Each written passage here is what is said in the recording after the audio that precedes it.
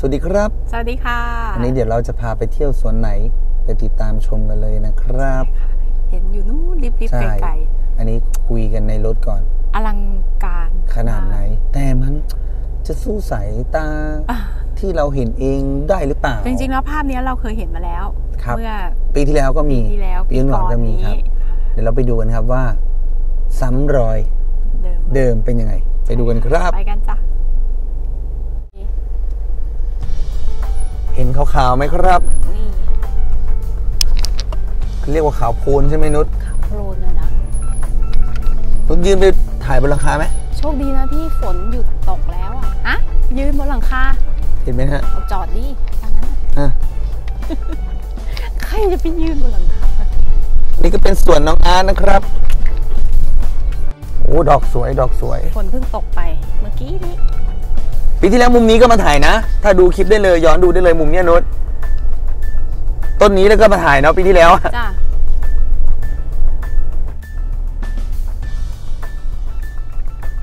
ขี่รถวนดูกันครับ โอ้ดอกสะอาดมากเลยนุชใช่โอ้ดูนะครับมองทะลุไปฮะขี่ดูกันทุกร่องเลย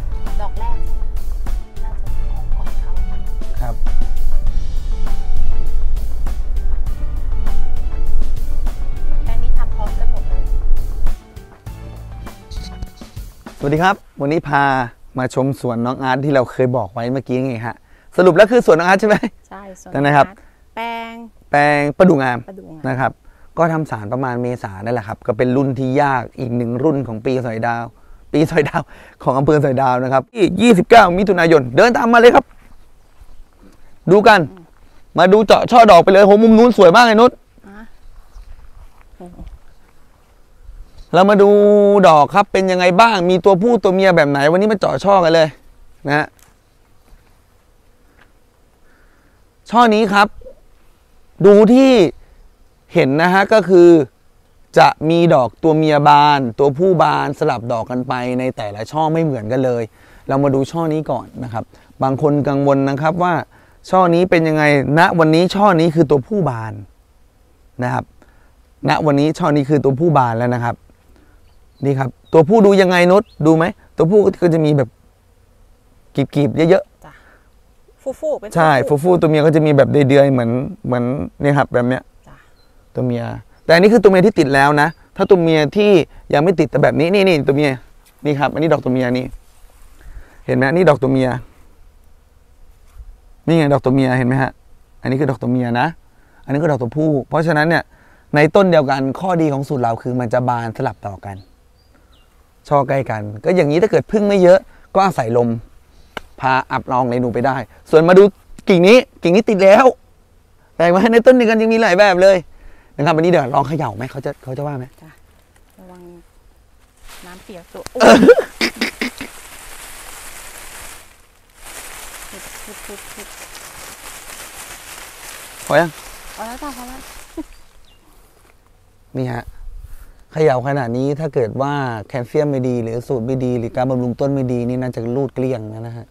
เขย่าขนาดนี้ถือว่าอยู่แล้วล่ะฮะเปียกเช็ดฮะจ้ะที่ยังไม่บานก็มีใช่ครับ ดูกิ่งนี้ครับลองเขย่ากิ่งนี้สักกิ่งหนึ่งนะฮะ